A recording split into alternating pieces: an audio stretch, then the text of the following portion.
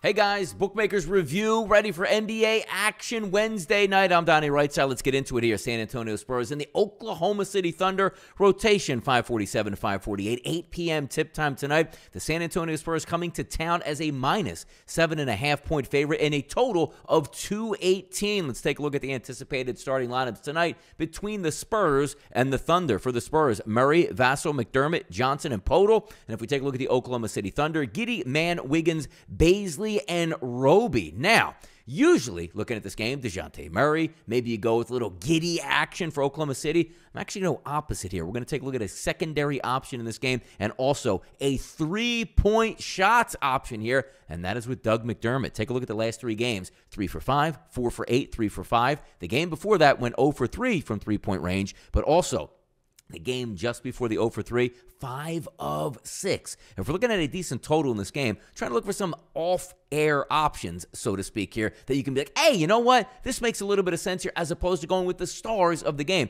Dejounte Murray is easy. We're probably going to take him in a triple double, get a double double. You know he's going to have a lot of assists, which could lead to some wide open three point shots here by Doug McDermott. So if we're looking at 19 points, 15 points, 13 points, 19 points, four points in his last five games, the key to that, the three point shot. So we're going to head and go Doug McDermott over two and a half three point shots made. Nice price on this one at a plus 120. So if your book's not offering these prop bets I'm handing out, make sure you shop around at BMR and get an A plus rated sports book that can offer you things like Doug McDermott over two and a half three point shots made at a plus 120 clip. I'm ready to get after here on a Wednesday night. I hope you cash in this ticket with me. Three balls in the air for Doug McDermott. We're going to cash this ticket. I'm Donnie RightSide for Bookmakers Review, and as always, good luck on those wagers.